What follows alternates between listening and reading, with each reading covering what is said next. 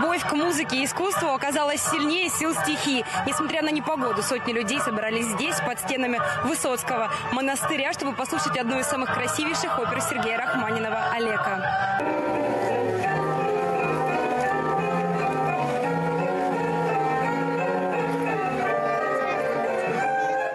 Сегодня артисты музыкального театра «Геликон Опера» представляют красивую и в то же время грустную историю вольнолюбивых цыган. Она трогает зрителя с первых нот. Это песня о любви главного героя, ревнивца Олега к цыганке Земфире. Он искал свободу в таборе, нашел свою судьбу, прекрасную девушку, но не смог простить ей измену и убил ее вместе с любовником.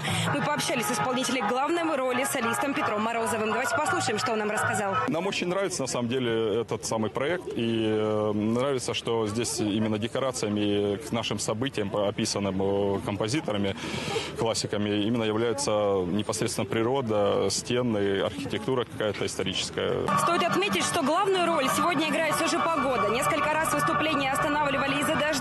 Декорации на небе меняются молниеносно. То черные тучи, то яркая радуга. Не сладко, конечно, артистам. Они практически басы выступают на мокрой сцене.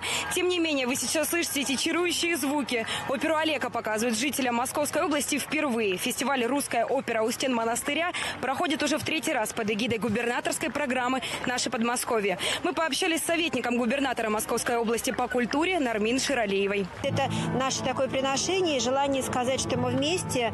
А, Все, что делается, делается во имя любви. Я счастлива, что у нас потрясающий партнер, а, Московский музыкальный театр «Геликон Опера». А, И мы уже говорили о том, что это у нас был Борис Годунов, «Царская невеста», сейчас Олега. Я очень надеюсь, что следующая премьера, которая еще только готовится в театре а, «Геликон», «Князь Игорь», потому что речь идет только о русских исторических операх, тоже будет представлена на нашем фестивале.